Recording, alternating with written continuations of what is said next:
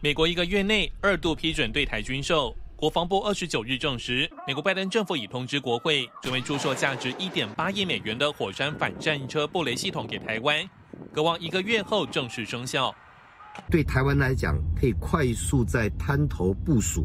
对于反登陆以及反制中共的零五四、九六四、九九四登陆侵台是有一定的不对称的核主力。对台海防御是一个相当好的一个武器。据了解，陆军司令部以九镇专案为名，向美军购买十四套车载型火山布雷系统，配附的地雷属于战防雷，可设定自毁，有四小时、四十八小时、十五天三模式，避免伤及平民。这种布雷系统也可装设在黑鹰直升机上。不过外界担忧，火山布雷系统已停产多年，会不会是美军在清库存？美军发现。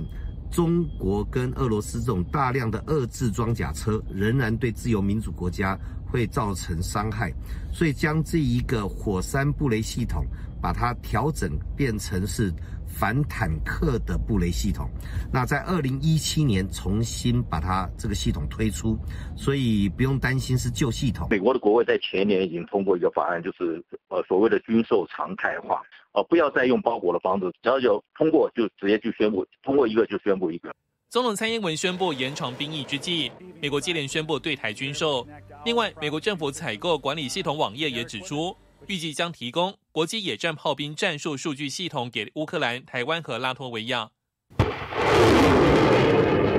也就是美国的军方开标案，向国际采购，再分配给他的盟友。台湾政策法的安全章节里面就提到，美国应该主动向国际盟友寻求军事武器来提供给台湾。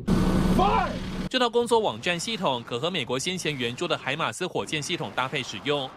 王定宇表示，这套军事采购方式正是美国刚通过的二零二三年国防授权法案中所包含的台湾政策法。美国应主动向国际盟友寻求军事武器，来解决台湾对外军购的困境。新唐亚太电视曾义豪、詹永如，台湾台北报道。